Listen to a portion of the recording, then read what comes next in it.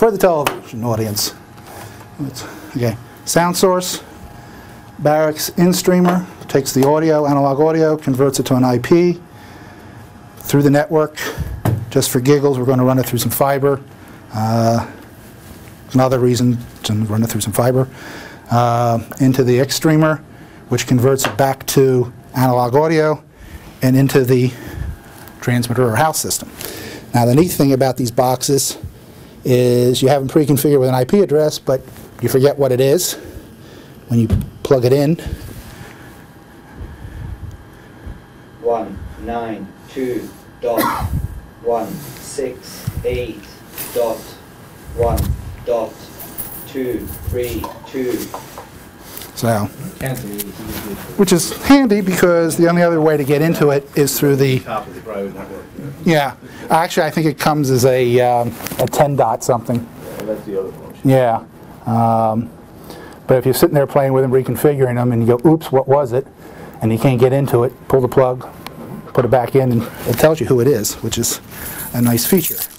Uh, If I'm trying to find, pardon me? I'm sorry, this. Oh, okay.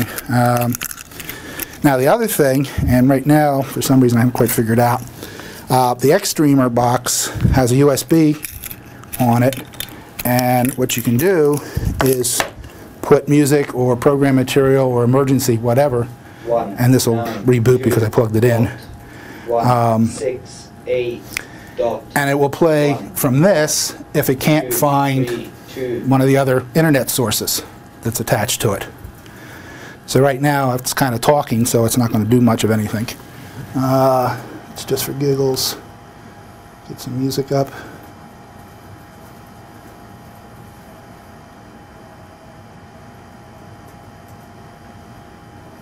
Does it just play randomly from whatever it finds on there? You actually create a, uh, a playlist if you want. And it will play from that playlist, or you can set the thing up to randomly supposedly play. As a matter of fact, What kind of playlist? Like, It's an, yeah, here, I'll show you the, right there. Play, you know, so it's a standard, so it's just the file name. yeah, So you're, you're connected to the X, Xcoder? right, yeah, that's the, It has its own little web server. That's- yeah, each one has their own little web server. So, and, so this is the in-stream box, and this is how you would link to that. If you had multiple boxes, uh, you'd put the different ones on, and what happens is if it loses the first one, it goes to the second one. If it loses the second one, it goes to the third one. If it loses all three, you're toast. And then what happens is, okay, if, if, if it's lost the first two, it's found the sec second or the first one back, and it's playing from a playlist, it will wait till that particular song is done before it goes back to the higher order thing. Now, I was having some problems with this, but we'll see if this works. So, we'll drop the network connection. And I've got it set for 30 second timeout. Um, You can set it for zero, you can set it for an hour if you want. So that playlist is really for your USB dongle? It's for the U- Not, not for your... Well, yeah, Here's a traffic update from Rome. it's, that's off the, and it's stored on the USB. Made possible by- So you could have one for every day of the week, and if you go out there once a week, change it. And Church Road, you got a slow go. Here's some construction This is notes. coming from uh, your thumb drive. That's coming from the thumb drive, right. You got construction working so we'll close the branch until the end of June. Two ninety-five So it southbound waits. between Hmm? interchange and nineteen Falls Road interchange This is where it sixteen. waits? You- Yeah, this will play through to the end of that particular cut. One lane closed at all time from, and then from eight PM to six AM, a second lane will be closed. It'll be like that through. Just ignore the this is- Other than that, everything else. just happened to be a couple of MP3 cuts I had laying around. 42, 55. But all these features are basically there. We because reported the there. product was 130, conceived as a 73, music 70, 30, 38, no service. problems there. And the Well, it's, one of, the early ideas was actually for doing airport audio, for road- where you'd have a single source and you would distribute it to each one of your different um, hallways, if you will. Um, So then it'll switch back, and if it loses the stream after the 30 seconds, for whatever reason, it'll go back to the MP3. And it keeps a, a counter in there so that it knows, well, who I've played last, so it doesn't necessarily start playing the same thing over and over again. So you can put your IDs on there, create a playlist for an hour or two hours and just pick it up and just so, you know, every 10 minutes or every 15 minutes, play your ID and away you go. Um, The other thing with the in-stream, um, these are also, let me go back over to this one, let's see. Uh, um, Yep. Yeah, we know, we know, we know, refresh.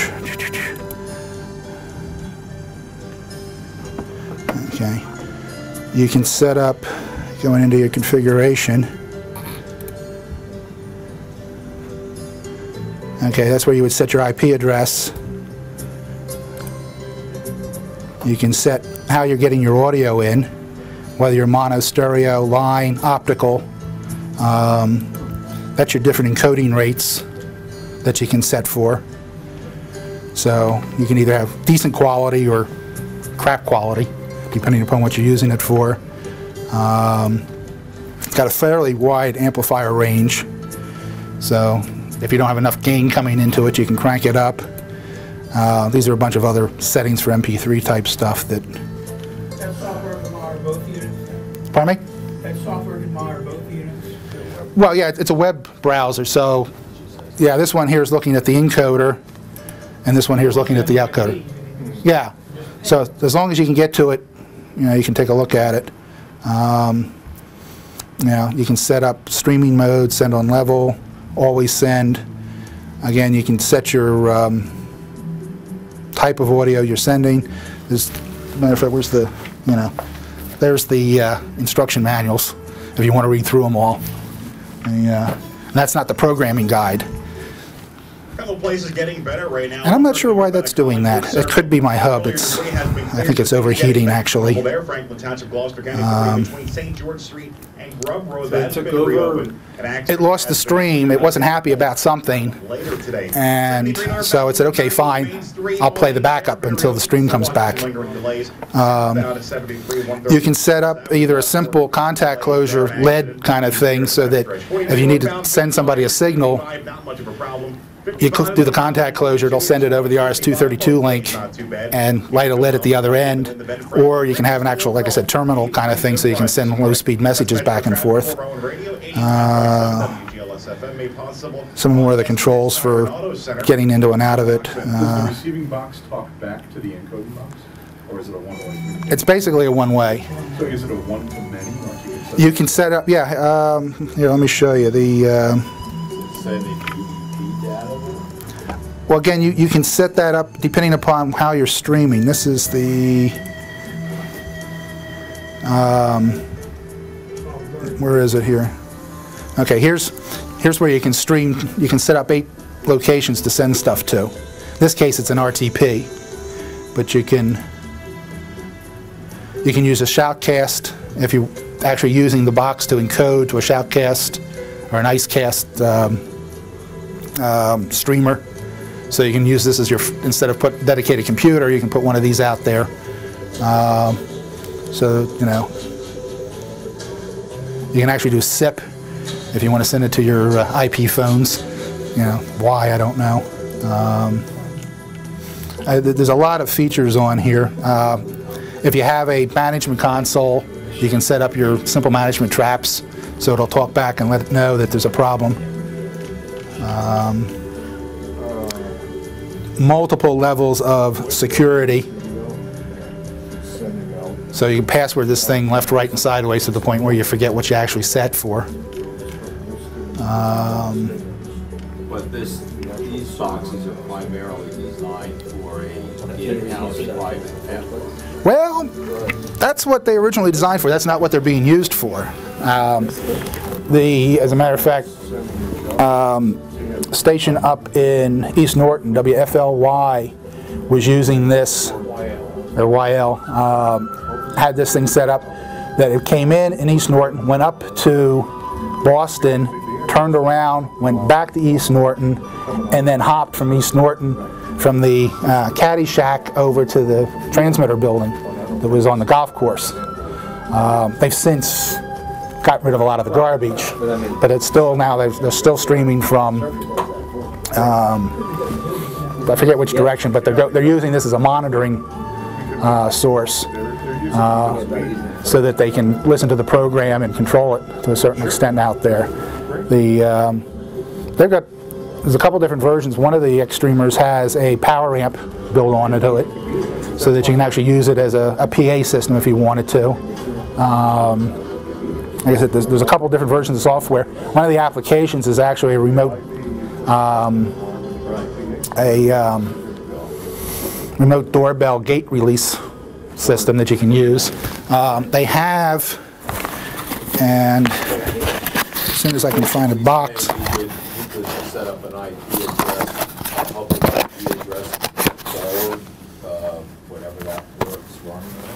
um, you could if you set it up that way. Where's my? How robust is it over a? a, There it is.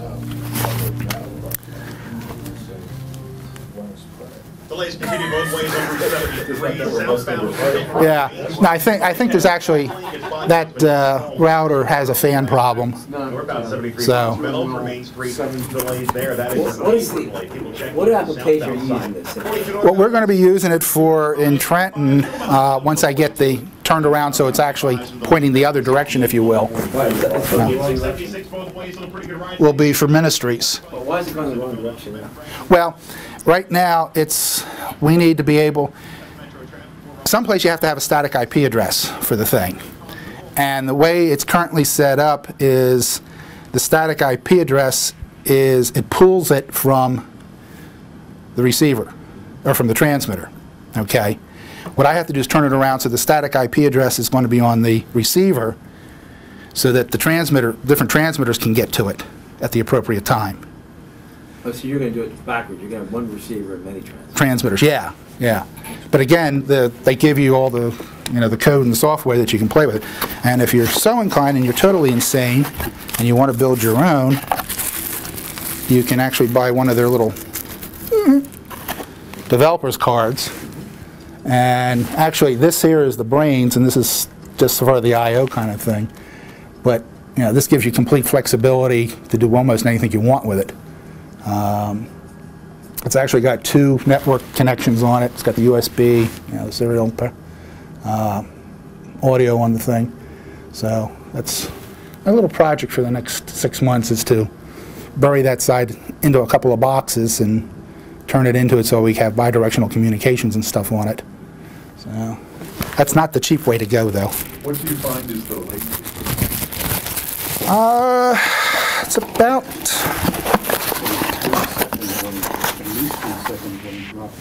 Yeah, um, it's really not too bad. Uh, it's it's more the initial hookup, you know, the handshaking, and then after that, it's it's only a couple of um, seconds at worst case. Uh, it it kind of depends on what you have in line, really. You know, if you've got a lot of crap between here and there, uh, you're going to, you know, no matter what you do, it's going to be that way. Clearly some buffering involved. Yeah. Depending on the network, that latency's going, going to drift. Yeah, a little bit. Uh, you can set, one of the things that you can set up in here is the amount of buffering. Does it try and automatically adjust the buffer, or is it just, you set it and that's what it is? Well, you can have it to start immediately, which means as soon as it gets it, uh, I've got it set for 100 milliseconds. So Uh, it doesn't try and dynamically adjust the buffer based on what's coming in? Not in its You can set generic form, You can yeah. set it up for whatever. Yeah, I mean, they can set eight, eight seconds or max, whatever max is. I don't know, I haven't gotten that far yet with the thing. Fire alarm, all that, stuff that don't need Let's that. say the store had a router, Turn down the- Which menu are you on? plug in. Which menu are you on? Yeah. Oh, I'm on, right now I'm on the uh, Exstreamer, the output. Yeah. Your RS two thirty-two jack on on the Exstreamer. Mhm. Is that, Yeah, okay. purpose of that primarily for the back channel? All right, very Come in with some encoder and then have. you Yeah, uh, like if you, yeah, you could, if you could pass serial contact closures over go forward? Yeah, yeah, it's bidirectional. True, true, art- uh, Yeah, it, it's a low, it's a low bit rate, okay, but it doesn't need to be but yeah. Um, let's see if I can find where that is.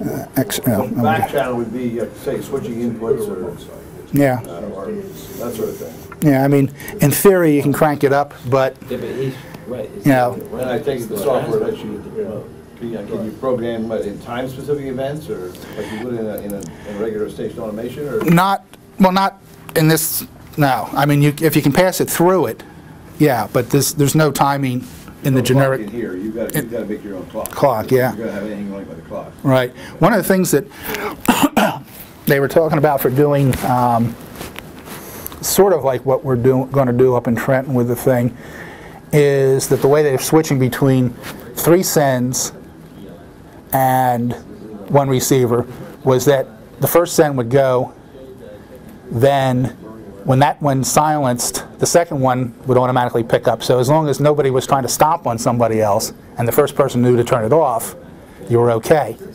But if the first guy doesn't shut him, his sender off, then he's got the system locked up, kind of thing. Um, the, uh, you know, the, Eliminate people at at the studios, like the. no, it's just, it's, it's it's eliminating an ISDN line or a, a uh, dry pair, assuming that you can get a decent connection. DSL, does that, that has to be configured to be static or not? Uh, there's a couple of ways you can kind of get around it, depending upon what you want to do. You need a static IP address, so somebody can find somebody.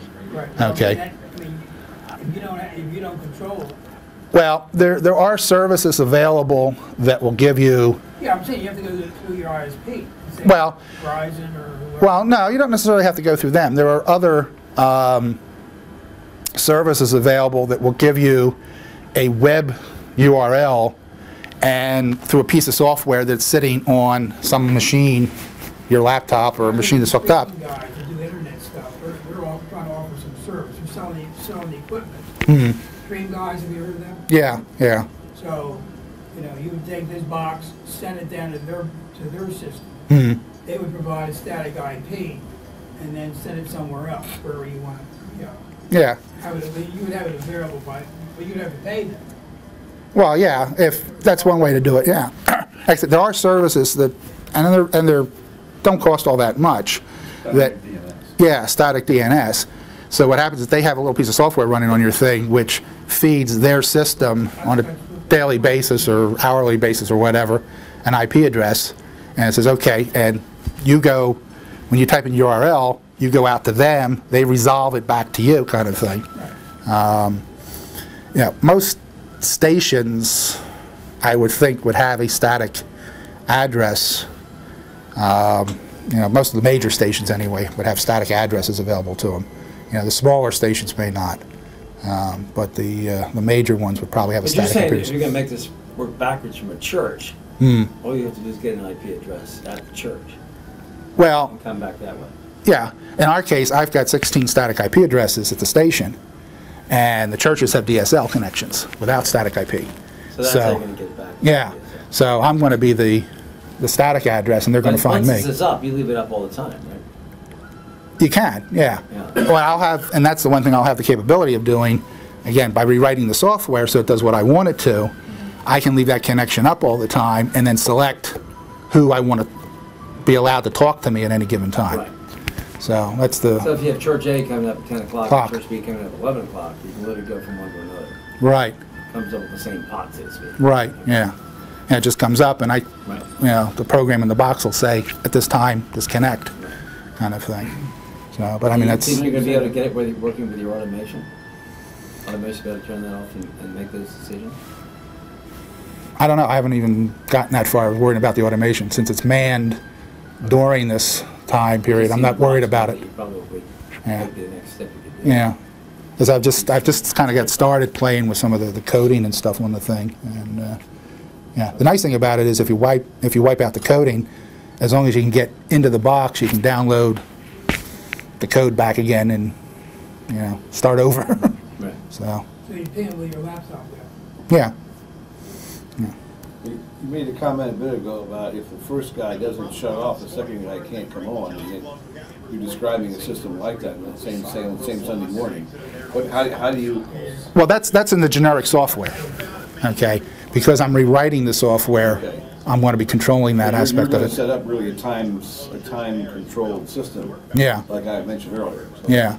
So that the, the three or four churches at the stations carry whatever the number is on Sunday morning this week. Mm-hmm. um, They're gonna be there when And no matter what somebody does at the church, if they fire up the equipment early, you know, the other guy is not gonna get Get in. because you're now telling the box. Which one is the live one at what time, yeah, yeah. But again, the, I'm kind of flipping the whole scenario over from the original design, yeah, Many to one. yeah. So, What kind of bandwidth does the stereo channel take up? I mean, if you've got a limited bandwidth connection between again, it, it depends on what you want to do for your, um, you know, your encoding. I mean, there's your choice of, We can't quite see that. next. oh, okay. Uh, you can go anywhere from MPEG 148 kilohertz uh, down to a, a PCM 8 kilohertz mono. Um, Well, there's also a a PCM 24K 16-bit, bit, yeah. Oh, would be your high bandwidth option. yeah. So there's, But even at the AKC mono, you still get plenty for a ball game.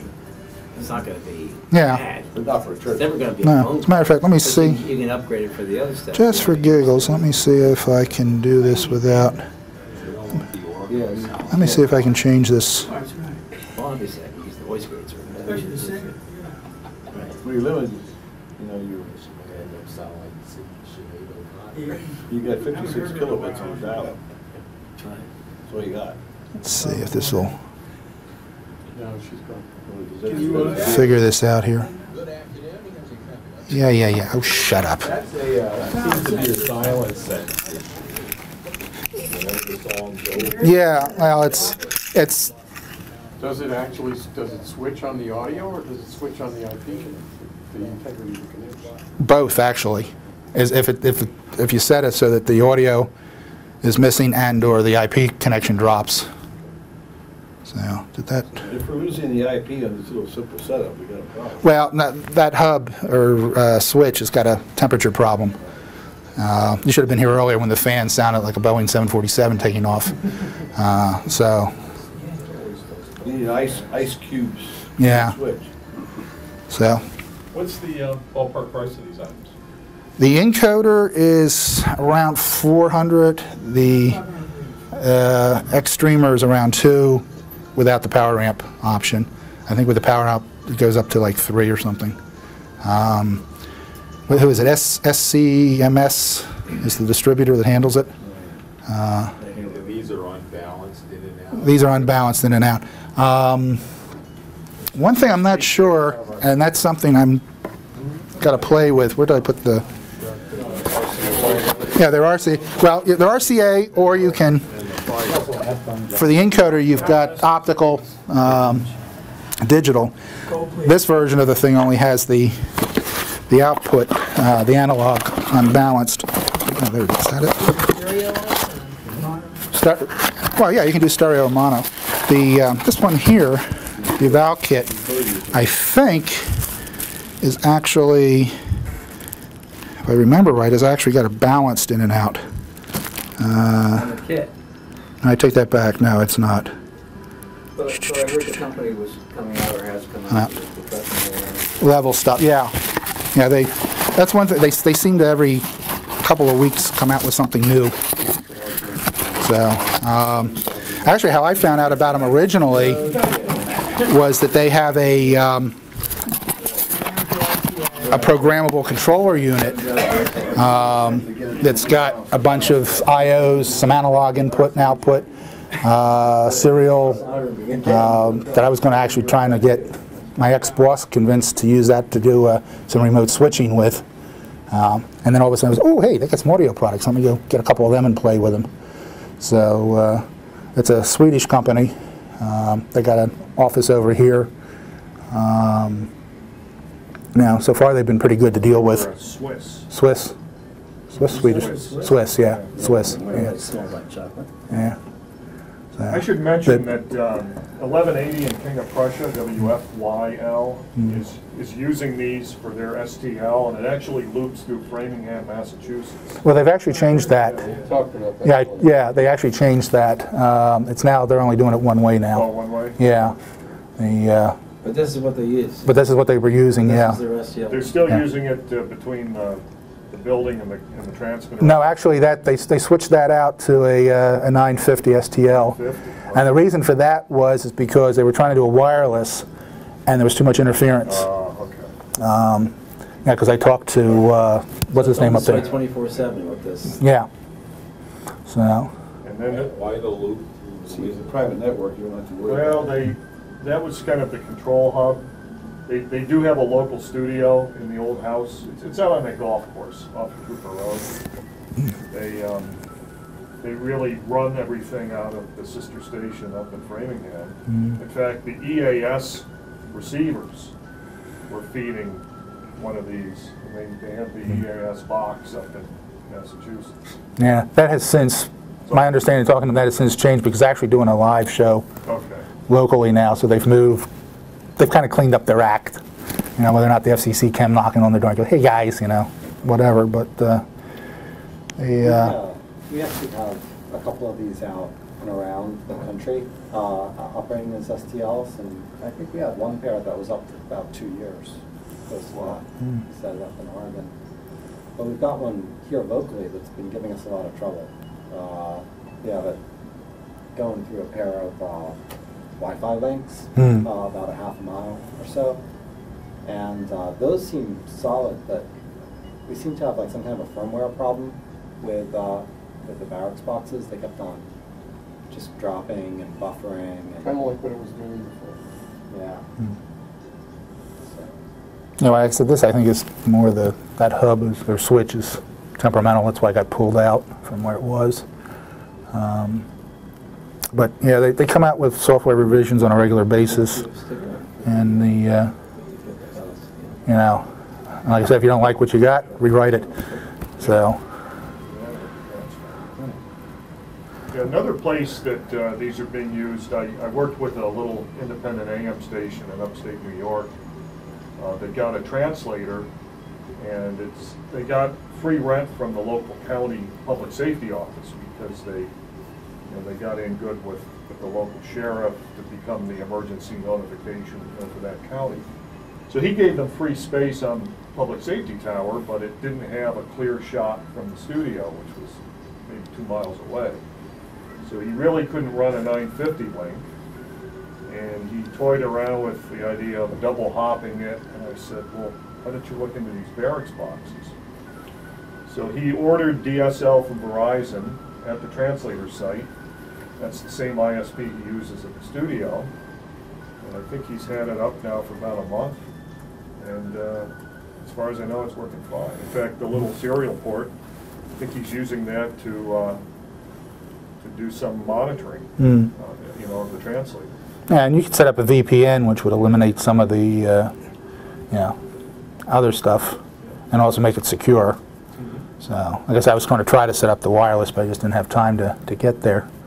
So, I mean, they're, they're, they're a fun little box. They have certain applications that they could be use, useful for. Not the answer to everything, but, uh, you know, interesting toys. to me it'd be really good for permanent remotes, because you, Yeah. you got a, a club or a, let's say a, Well, even, Church. well, as long as, again, as long as you've got a static IP address at right. the studio, essentially you should be able to take this anywhere and plug it in, and it'll find it and go from there. So, Do you have any kind of a recommendation on, on whether you should regularly reboot it, even if it's uh, doing okay?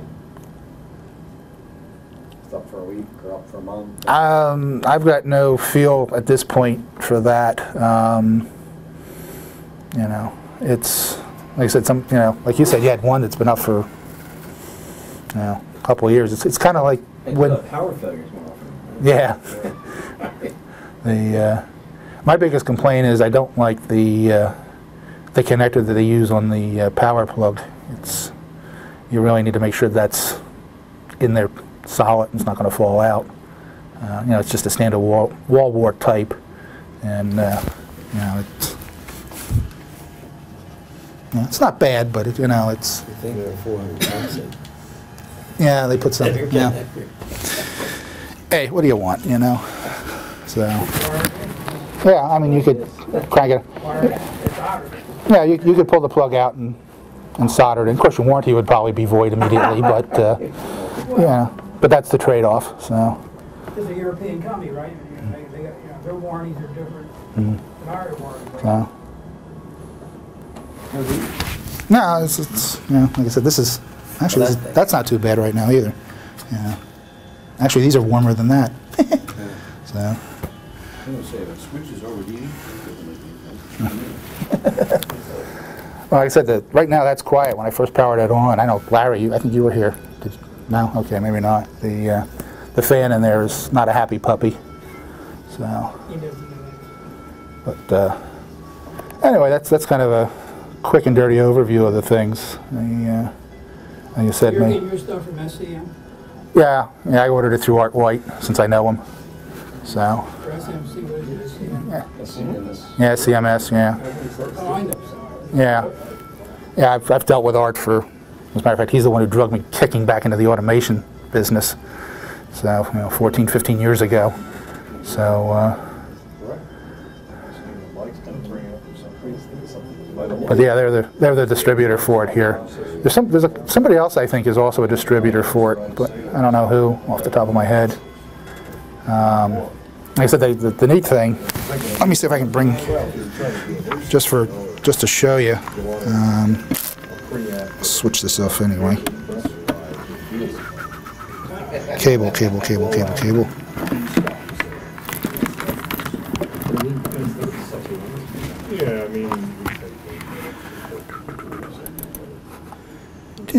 Do-do-do-do-do. At least it's not 98.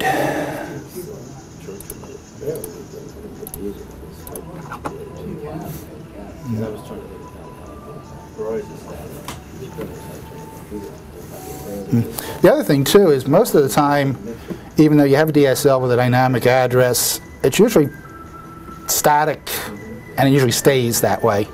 You know, unless the, you reboot the, uh, the router or the modem. most expense you'd have to have if you were paying for it would be the weather DSL line. Yeah.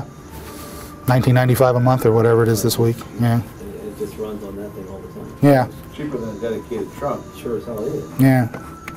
Let me see if I can, If you, uh, if I can get you up have there. a bad connection Mhm. and, uh, you know, you have the buffer at three seconds or something and you lose a little bit over time, can the box, when the, when the connection recovers, can it make up some of that buffer time?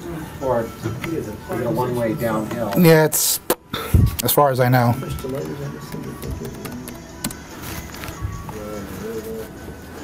Yeah, this is actually what I was originally, and you can see, here's the, you know, bring that down a little bit. So, this is what I was actually originally looking at, was the Barionet family um, product. Oh, good. Uh, let's see if I can get this thing. It's, it's like, we This was counted it. it, it's thirty-eight per second.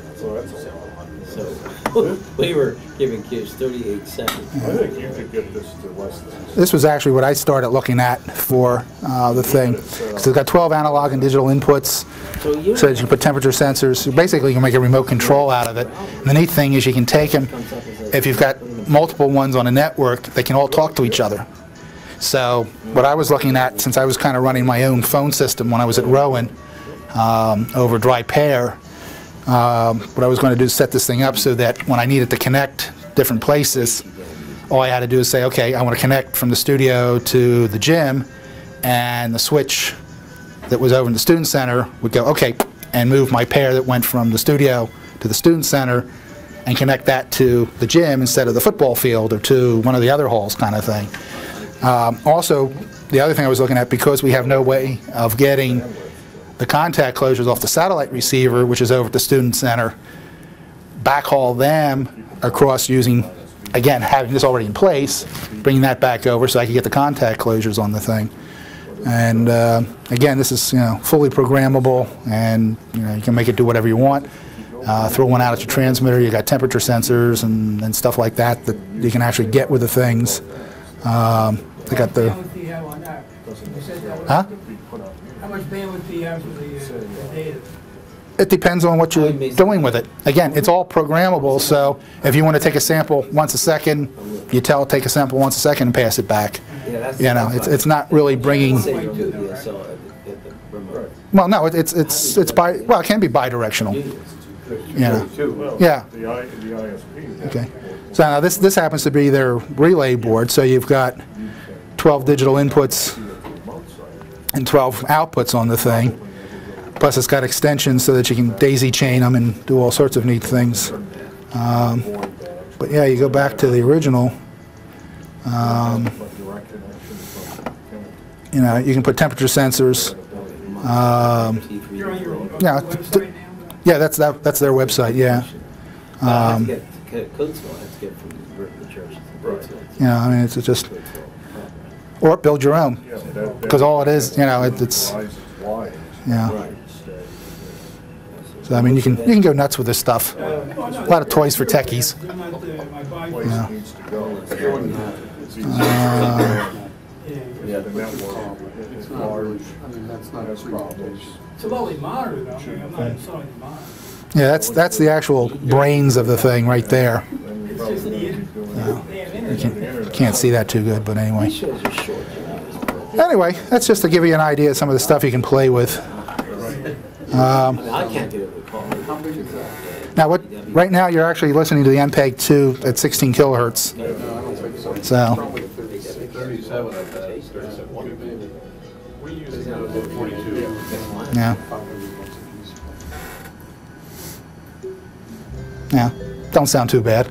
I wonder if you're listening to this. It's actually cheaper for us to buy. Hmm? Where's it going, just to this stuff? or- Yeah, right now, it's just coming out of the CD player into the, No, we ship them in a big pallet. in a big- a lot of, a lot of shit to get from here to there, but Yeah, but you, you're having to go through that little Easier firewire thing. us to buy the switch. Oh, no, I don't have to use the fiber, I just threw that in there. Yeah, We have to rent because I was going to, like I said, I was going to use the, um, put the network up, two days to. the wireless network up, but I just threw this in here just to play, because this is a nice little fiber, Ethernet fiber converter box. The guy with the hammer. Relatively cheap, they're like $80 a piece, guy with the hammer. so. They can fit. I never It's forget really that. quite remarkable. Now they can- This is actually how I'm doing some, I was doing some funny things at Rowan with a set of them. Yeah. Yeah, because that's actually, again, down at Rowan, um, the things end up over at the basement of one of the dorms, and from there it ran underground to the water tower, which had the uh, relay hop on the thing. And on a regular basis, it would get cooked. Uh, and it's only, we're only talking from that wall to this wall, more or less the distance, but somehow it would get zapped by lightning and blow out the uh, transcoders. So we extended the fiber from the dorm over into the water tower. Well, now that I had six pair of fiber over there, I was only using essentially one uh, fiber out of the thing for the audio, and I had a network hub over here, but I had no network in the water tower. Pair of them over one of my spare pairs of fiber, and I now had network capabilities in the uh, water tower, which allowed me to then activate the RDS system that uh, I got from Mark, and uh, so I can control that from the studio instead of having to go over the water tower every time I wanted to do an update. So, uh, but yeah, for you know, 80 bucks a piece, you know. And again, These things been pretty stable, these, these boxes. These have, yeah, I mean, I haven't had any, you know, I haven't beat on them that much uh, long term, but I haven't had any major problems with them. Um, the, uh, back in September, I guess it was, I put the, September, August, I'm trying to think when, someplace back in there, over the summer, I guess, put the latest version of the software on the thing and did some stuff, but, um, yeah, they seem to work. Yeah, I mean, there's not really that much in them.